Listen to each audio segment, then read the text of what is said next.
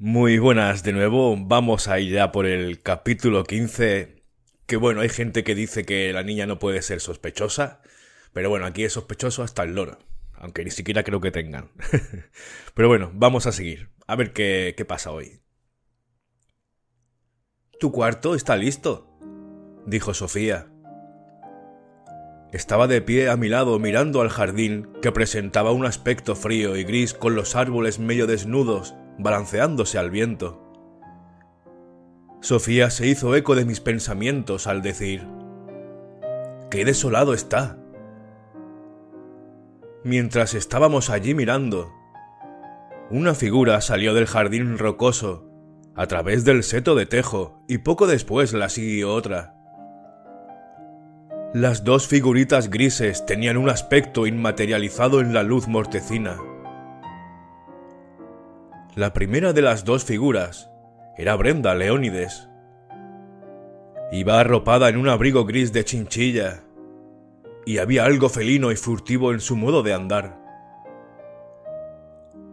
Se deslizaba en la luz crepuscular con una especie de gracia misteriosa. Pude ver su rostro cuando pasó por delante de la ventana. Iba sonriendo a medias con la sonrisa torcida que había llamado mi atención. Unos minutos más tarde, Laurencio Brown, delgado y encogido, se deslizó también en la luz del crepúsculo. No puedo expresarlo de otro modo. No parecían dos personas andando, dos personas que vienen de dar un paseo. Había algo furtivo e inmaterializado en ellos como si fueran dos fantasmas. Me pregunté cuál de los dos pies habría hecho sonar una ramita, si el de Brenda o el de Laurencio. ¿Dónde está Josefina? Seguramente con Eustaquio, en el cuarto de estudio. Sofía frunció el ceño me preocupa Eustaquio, Carlos, dijo.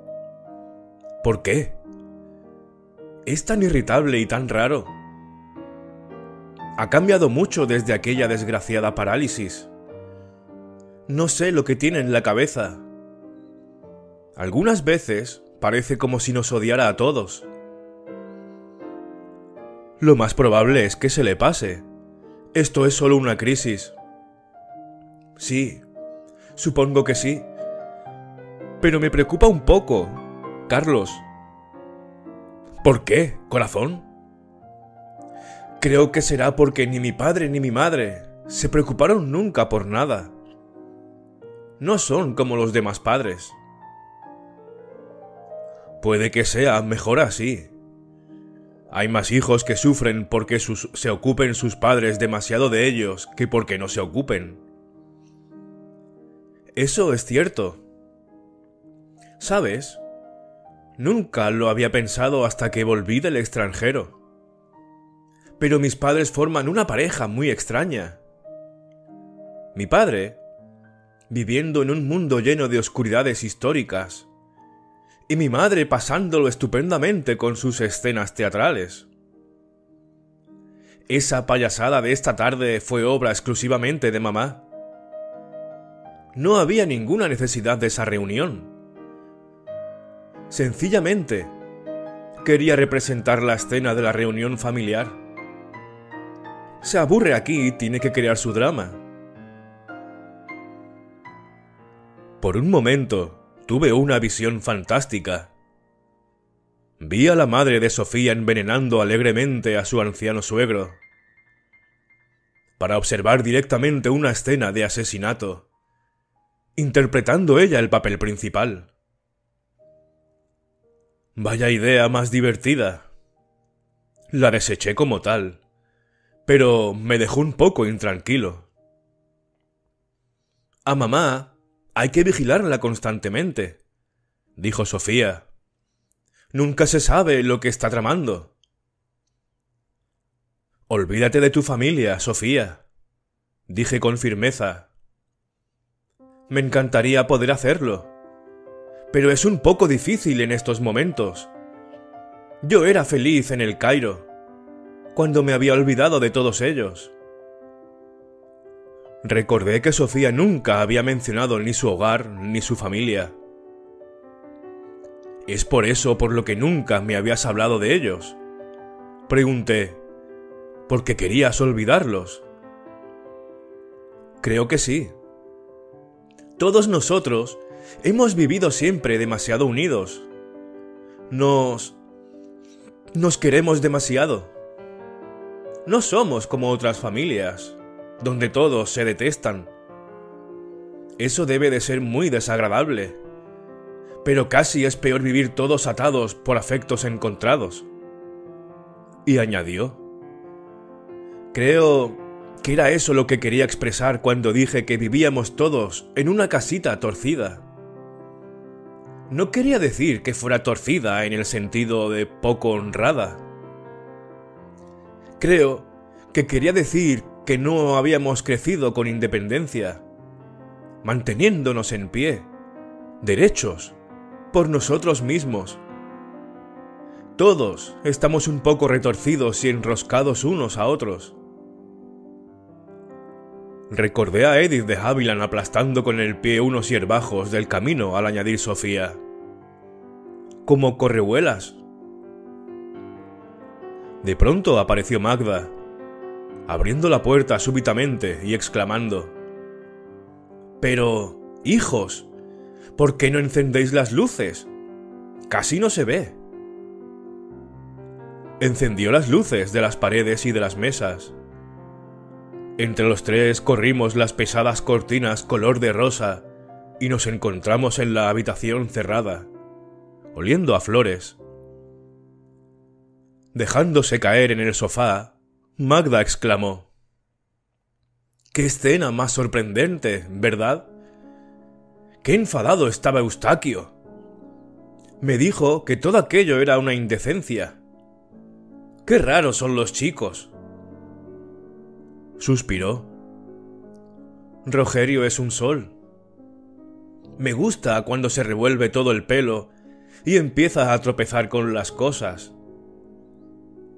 ¿Verdad que Edith tuvo una buena idea al ofrecerle su herencia? Y tenía intención de hacerlo. No es que fuera solo un gesto, no. Pero fue una completa estupidez podía haber hecho que Felipe se creyera obligado a hacer lo mismo. Por supuesto, Edith haría cualquier cosa por la familia. Hay algo sumamente patético en el amor de una solterona por los hijos de su hermana. Algún día interpretaré el papel de una de esas sacrificadas tías solteronas. Inquisitivas, obstinadas y sacrificadas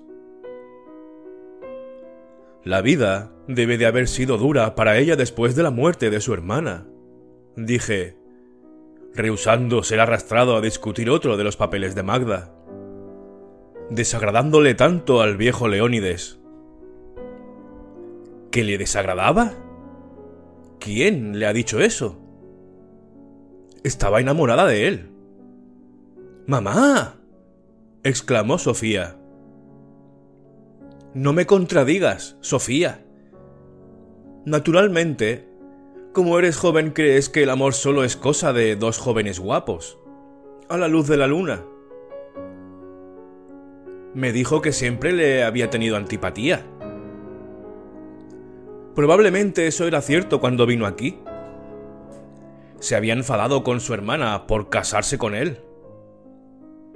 Me figuro que habrá habido siempre cierto antagonismo entre ellos. Pero... ya no creo que estaba enamorada de él. Hijita, sé muy bien lo que me digo. Claro que siendo la hermana de su difunta esposa, y todo eso no hubiera podido casarse con ella.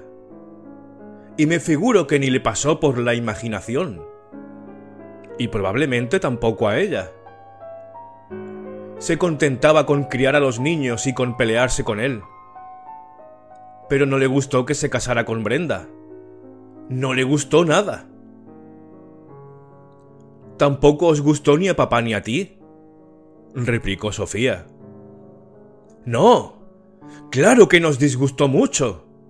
Naturalmente. Pero a Edith le disgustó mucho más. Hijita, la he sorprendido a veces mirando a Breda de un modo... Vamos, mamá. atajó Sofía. Magda le dirigió una mirada afectuosa y medio culpable. La mirada de una niña traviesa y malcriada. Continuó, sin darse cuenta al parecer de la falta de hilación de sus palabras. He decidido que Josefina debe ir al colegio. ¿Josefina? ¿Al colegio? Sí. A Suiza. Me ocuparé de eso mañana. Creo que debemos mandarla fuera enseguida. Es muy malo para ella el verse mezclada en un asunto tan horrible como este. Se está poniendo muy morbosa. Lo que necesita es otras chicas de su edad. Vida de colegio. Siempre lo he pensado. El abuelo no quería que fuera al colegio, dijo Sofía lentamente. Era completamente contrario a ello. El querido viejecito nos quería todos aquí bajo su dominio. Las personas muy mayores suelen ser muy egoístas en este sentido. Una niña debe andar con otras niñas. Y Suiza es tan saludable. Con los deportes de invierno. Al aire y una comida muchísimo mejor que la que tenemos aquí. Será difícil ir a Suiza ahora, ¿no es cierto? Con todas esas disposiciones sobre la moneda, dije. Eso son tonterías, Carlos. Hay una especie de mercado negro para estudiantes. O se hace un intercambio con una chica, chica suiza. Hay muchos medios de hacerlo. Rodolfo Alistair está en Lausanne. Le telegrafiaré mañana para que se encargue de todo. Podemos mandarla si no surge algún impedimento a finales de esta semana. Magda ahuecó el cojín. No sonrió. Se dirigió a la puerta y se quedó un momento de pie, volviendo la cabeza de un modo encantador. Hay que pensar solo en los jóvenes, dijo de un modo delicioso. Siempre deben ser ellos los primeros. Y pensad en las flores, queridos. Las gencianas azules, los narcisos. ¿En octubre? preguntó Sofía. Pero Magda se había marchado. Sofía dejó escapar un suspiro exasperado. La verdad es que mamá constituye una verdadera prueba, dijo. Se le ocurren de pronto esas ideas y manda miles de telegramas, y todo tiene que arreglarse en un momento. ¿Por qué tanta excitación y tanta prisa en mandar a Josefina a Suiza? Puede que haya algo de cierto en lo que dice del colegio. Creo que el tratar a otras niñas de su edad le hará mucho bien a Josefina. El abuelo no lo creía así, dijo Sofía con obstinación. Me sentí ligeramente irritado. Querida Sofía, ¿crees sinceramente que un señor de más de ochenta años es la persona más indicada para juzgar lo que le conviene a una niña? Sabía mejor que nadie lo que le convenía a cada uno en esta casa, dijo Sofía. Mejor que tu tía Edith. No. Puede que no. Ella prefería el colegio. Concedo que Josefina se está poniendo muy difícil. Ha cogido la horrible costumbre de andar espiando. Pero creo que eso es únicamente porque juega a los detectives. Era solo la preocupación por el bienestar de Josefina lo que había causado la súbita decisión de Magda. Josefina estaba demasiado enterada de cosas que habían ocurrido antes del asesinato y que, desde luego, no eran de su incumbencia. Una vida de colegio, saludable y mucho deporte, probablemente le harían mucho bien pero me dio que pensar la precipitación y urgencia de Magda. Suiza estaba muy lejos. Y bueno, hasta aquí la lectura de hoy, el capítulo 15. Bueno, ¿qué pensáis ahora con Magda? ¿Está pensando en los niños, como dirían en los Simpson? Es que nadie piensa en los niños. o es que simplemente realmente quiere quitarse la niña de encima porque ya está sabiendo demasiado y a lo mejor ella tenía algo que ver. Mm, mm, bueno, ya lo iremos descubriendo. Muchas gracias por haber llegado hasta aquí. Nos veremos en el capítulo 16. Hasta luego.